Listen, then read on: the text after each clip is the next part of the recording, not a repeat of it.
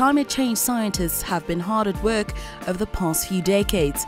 What's kept them busy is trying to convince the world that climate change is indeed a fact a fact that was recently discussed at the highest level during the 21st Conference of Parties, or COP21, in Paris, France. For the first time in over 20 years of UN negotiations, members of the conference aim to achieve a legally binding and universal agreement on climate with the target of keeping global warming below 2 degrees Celsius. The economic hub of Johannesburg is one of the biggest greenhouse gas emitters on the African continent. The city of Johannesburg has taken a view that we're part of the global community that needs to address the future of our climate, uh, of our planet rather, and the interest of not just current and, but future generations, and that we have a critical contribution to make. Johannesburg is one of the highest emitters of greenhouse gas emissions, and we have a duty to make our contribution towards the reduction of greenhouse gas emissions. Uh, and the, the, effect of climate change we can feel already. Uh, our current experience as Johannesburgers is that we are beginning to experience increased intensity of rain and an increase in the rainy season. So we've seen the climate change patterns uh, uh in our city and the reality that that impacts on our city. And the effect is about uh, the impact of on our stormwater drainage systems. We've planned for, uh, we've continuously had to adapt our flood lines from one in 25 years to one in 50 to one in 100 years because the, the level of rainfall has increased.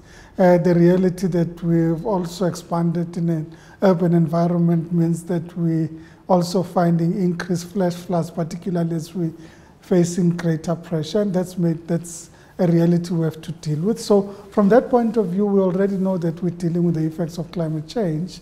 We are currently in the early parts of the summer season are experiencing a fairly long drought season that's impacting on, on, on the city uh, and indeed on the entire country. So, so it, in many ways we can say that uh, we're living through the effects of climate change. It's about what we do about climate change both from a mitigation point of view, and mitigation is about what we're doing through the buildings, through waste management, through alternative energy that we're rolling out. And adaptation is the more difficult reality that we need to deal with. To deal with. We now need to expand the stormwater networks that we've built. The stormwater drainage system is not designed for the level of rain that we're experiencing, so we need to be able to expand it.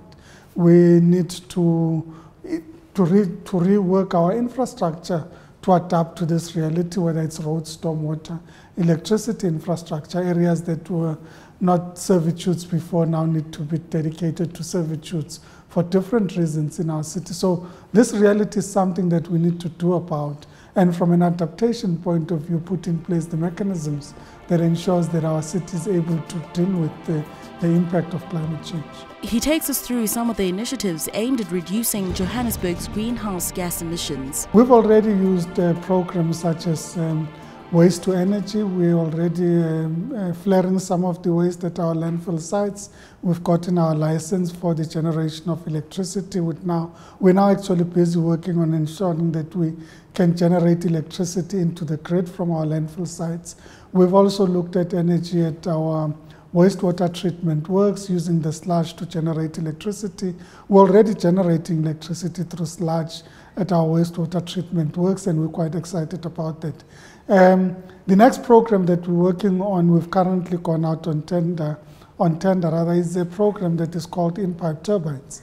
And these are uh, turbines that use the bulk water systems, um, the potable water systems to be able to generate. So use the pressure of your water distribution network to generate electricity. And this technology enables us to do two things. It enables us to generate electricity, and in the second instance, it, enable, it enables us to manage the water pressure that we have. So it serves as a water pressure management system. So that's the next level of technology we're working on.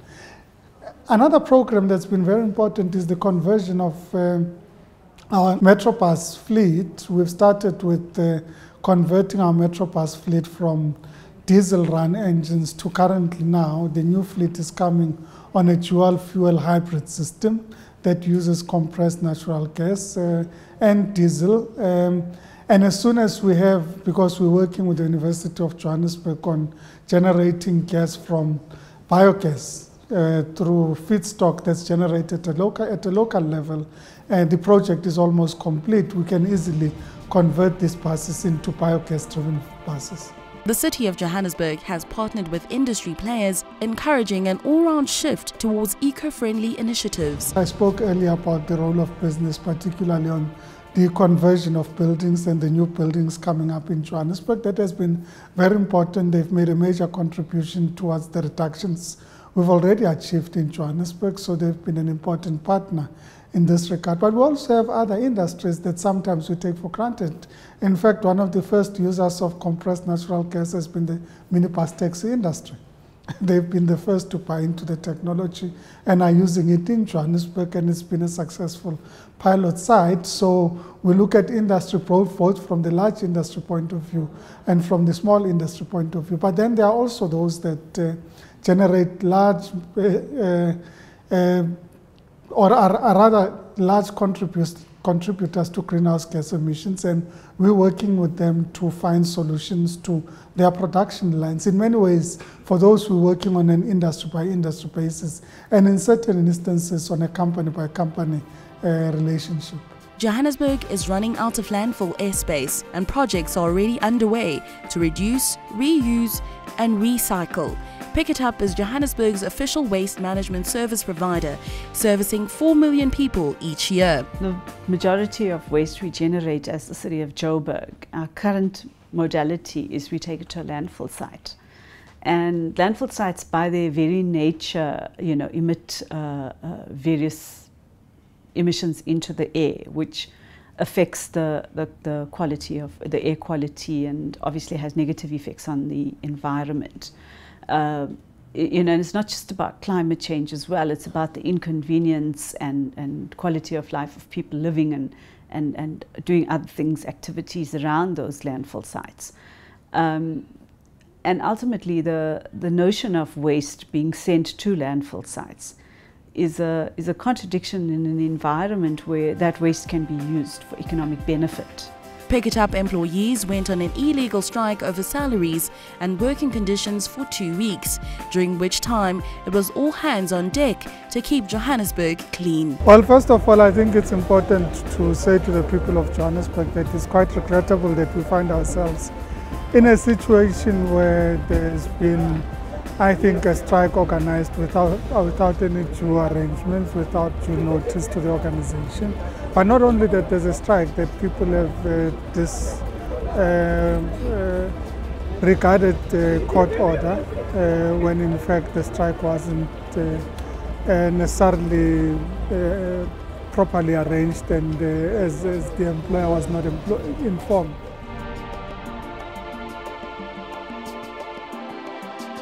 Waste presents an economic opportunity for South Africa to reduce poverty, inequality and unemployment. We're no longer a company that just comes around and collects your, your waste and takes it to a landfill site. We are transforming uh, into what we call waste minimization as the model for managing waste. And our big, our, our sort of flagship program there is separation at source, which calls for residents and businesses and every other uh, sector of society to start to separate out their waste. Because paper as a, as a waste stream has value and can be recycled. Plastic as a waste stream has value and can be recycled. Glass as a waste stream has value and can be recycled. And as I'm talking about these things, you must now imagine them in the context that they're coming out of your bin in your kitchen. So as, as we increasing the volumes that are being recycled and pulling out various waste streams, then the, the volume of waste, what we would call residual waste, is minimized and, and that's what ultimately ends up at the landfill. So our, our efforts between now and 2040, where we have to have only 7% of the total 1.8 million tons generated per annum now going to landfill, um, is, is, sits largely on that particular program, separation at source. we've, we've started the program in many parts of the city. We'll be extending quite uh, robustly and dramatically, you know, very radical shift now into the high income areas. We started in the low income areas. And we started in the low income areas largely because that's where you have your highest levels of poverty and unemployment. So to provide economic opportunities. Um, we're now talking about uh, food waste, organic waste as well, or wet waste as well as domestic garden refuse. Johannesburg is taking the concept of creating a green economy further. They call it the blue economy. In the city of Joburg, we talk about green and blue economy because we're working with an organization called ZERI, headed by Professor Gunter Pauli. Uh, and they've worked on technologies that, uh, in many instances, are cheaper and more innovative uh, that can contribute towards uh, growing the economy but reducing greenhouse gas emissions and building a different ecosystem. Uh, I spoke earlier about the turbines that uh, we're talking about, uh, the in-pipe turbines that use that. That's been through this program.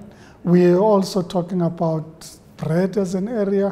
What we're currently looking at is uh, uh, a problem with regards to the distribution network and the production of our bread could actually be an opportunity through pop-up bakeries that are there in communities and thus reducing the cost of a primary, primary food stock uh, or rather food requirement in our community uh, through the reduction of logistics and thus the price of bread and generating electricity through a dual system that uses uh, solar power, power energy for the production of both electricity and uh, heated water. So these are different technologies that we're including in one project that achieves multiple objectives. That's why when we talk about the initi initiatives we're planning with ZERI and implementing with ZERI, we're talking about ecosystems, about the production of bread, and we look at it as an entire ecosystem. When you look about at waste, for example, we look at the situation where the bulk of the waste at our landfill sites is actually building rubble, but then there's a technology that exists that converts the building rubble into paper. So stone paper is a technology that we're looking at. So we're addressing the problem of landfill sites through generating a new set of industries that produce paper. So that's the new technology we're working on. Some of these are on implementation phase and some of them are on business case development stage.